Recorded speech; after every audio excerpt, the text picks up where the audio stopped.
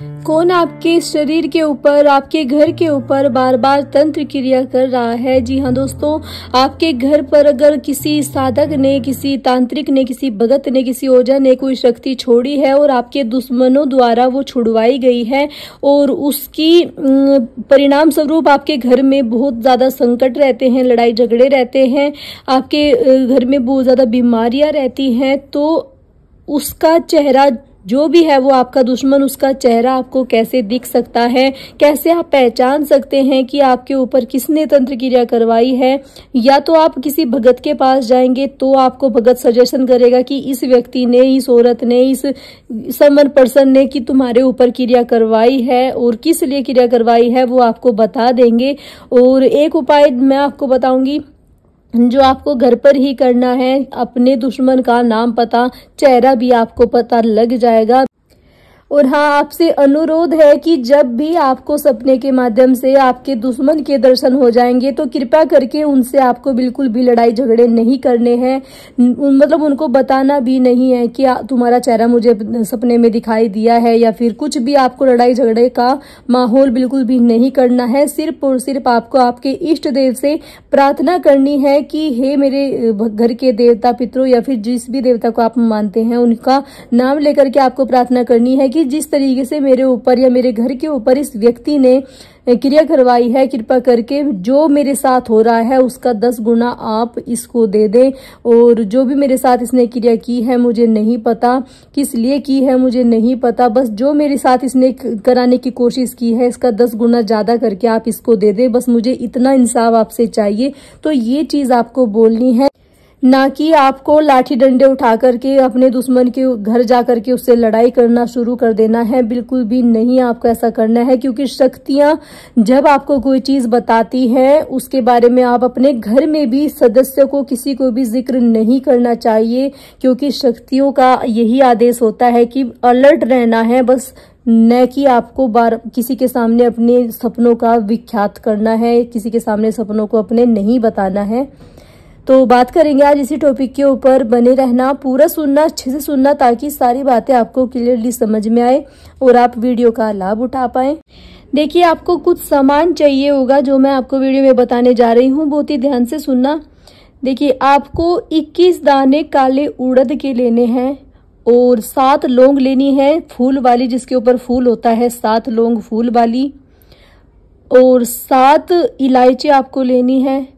सात काली मिर्च आपको लेनी है और सवा मीटर कपड़ा आपको लेना है। एक सुपारी आपको चाहिए और दो रुपए रख लेना। सवा रुपए तो आजकल चलते नहीं हैं दो रुपए आप रख लेना। और छोटा सा आपको कपड़ा लेना है सवा मीटर आपको नहीं लेना है सवा मीटर किसी और कार्य में आएगा। छोटा सा कपड़ा आपको ले, ले लेना है रुमाल के जितना। और उसमें आपको शनिवार की शाम के समय आपको उसमें सबसे पहले उड़द डालने हैं, उसके बाद आपको लौंग डालनी है, उसके बाद में काली मिर्च डालनी है, उसके बाद में सुपारी आपको उस पर रखनी है, उसके बाद में सवा जो रुपया, दो रुपये उसमें आपको रख देने हैं। ये कार्य आपको सोने से पहले करना है। जिस भी समय आप सोते हैं, नौ बजे, दस बजे आपको जब सोना है, तब इस कार्य को आपको करना है। और देखिए, ब्रह्मचर्य का आपको पालन इसमें अवश्य रूप से करना होगा। नहीं तो जो चीज़ें, जो उपाय आप कर रहे हैं अपने दुश्मन का चेहरा देखने के लिए, उसकी पहचान करने के लिए, वो आपको नज़र नहीं आएगा। तो पूर्ण ब्रह्मचर्य आपको रखना है। उस रात आपको अपने इष्ट देव की अखंड जोत लगानी है। एक तेल की अगर आप जोत लगा लेंगे सरसों के तेल की तो बहुत ही अच्छा रहेगा। नहीं तो आप, जो आप घर में शुद्ध देसी घी यूज़ करते हैं, उसकी लगा सकते हैं, कोई दिक्कत नहीं है। आपको अपने इष्ट देव के समक्ष बैठना है और आपको प्रार्थना करनी है, हाथ जोड़ के वो जो सारा सामान है, आपको अपने हाथों में लेना है, आपको प्रार्थना करनी है कि हे मेरे इष्ट देव, हे मेरे घर के कुल देवता, हे मेरे घर की कुल देवी कृपया करके मेरे ऊपर, मेरे परिवार के ऊपर, मेरे घर के ऊपर जिस किसी ने भी तंत्र क्रिया करवाई है, कौन है वो, कृपा करके उसकी पहचान मुझको दें या फिर मुझे उसका साक्षात चेहरा दिखाएँ, या फिर मुझे कुछ ना कुछ ऐसा संकेत दें कि मैं उसकी पहचान कर सकूँ। और इस तरीके से आपको प्रार्थना करनी है। प्रार्थना करने के बाद में आपको आपके इष्ट देव को साक्षी मानना है कि मेरे तो आप ही हैं इस संसार में और दूसरा कोई भी नहीं है।